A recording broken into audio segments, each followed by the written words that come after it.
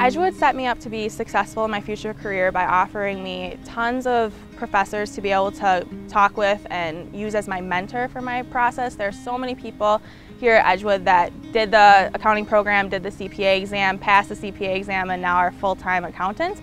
And that was my plan too, to do the CPA exam. So I used a lot of them as resources to figure out what my plan should be for the future.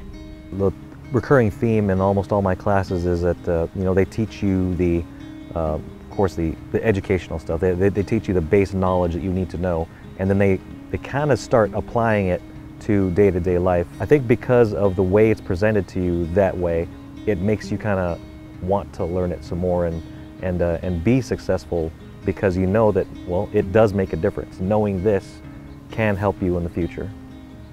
I feel like Edgewood wants me to succeed. Everyone wants me to succeed. Everyone's willing to motivate me how can you not feel empowered? How can you not feel grateful?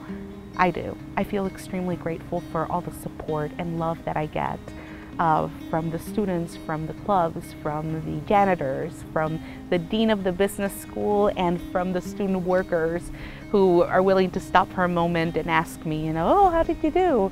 From my schoolmates who are willing to share their notes when my daughter gets sick and I can't come to class and from each one of the professors who takes time to get to know me and my unique situation. I found my job by attending the different events that Edgewood hosts through Career, Career Week with Career Services, as well as the different events that the Accounting Club hosted. I met a few different people at the events there and I got their business cards and I was able to stay in contact with them throughout the semester and that's how I landed a summer internship with them and then that turned into a spring internship and then a full-time job. After I leave Edgewood, my goal is to take the education that I have attained and find a place where I can continue to give back to the community. I know what I'm capable of. Like I said, all this sacrifice and hard work every day will remind me of just what I can do. I can do it all. I know I can because I've been here.